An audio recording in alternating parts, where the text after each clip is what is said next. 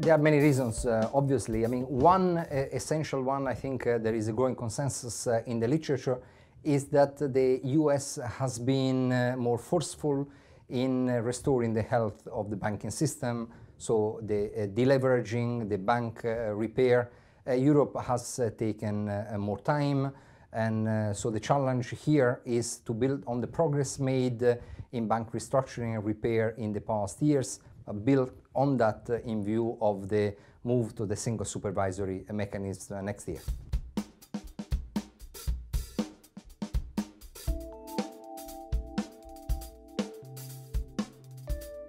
Banking union is essential because uh, without banking union we are not going to break the link between the sovereign and, uh, and the banks. This would uh, continue the fragmentation that we have witnessed uh, in, the, in, the financial, in the financial markets. So lending rates will be uh, differentiated between core and vulnerable countries. Uh, so uh, corporates, uh, especially SMEs, uh, would borrow at much less favorable conditions, and this would hamper the recovery. So banking union is important, yes, to preserve the um, functioning, well functioning of the single market in financial services for fostering the uh, good adjustment within the economic and monetary union, but also to underpin the economic recovery.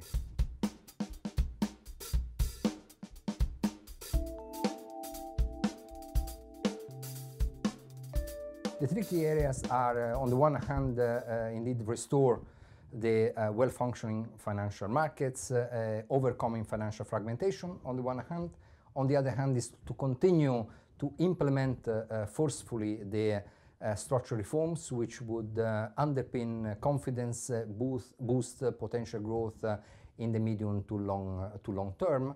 And third element is to have a fiscal stance in the euro area which is appropriately differentiated between uh, countries uh, with uh, more fiscal space, which have uh, more leeway and uh, countries uh, with less fiscal space which have to stick to their targets. And this has to be done together with improving the composition and quality of public finances, boosting uh, items in the public budget uh, on the revenue side, on the expenditure side, uh, which foster um, job creation and growth.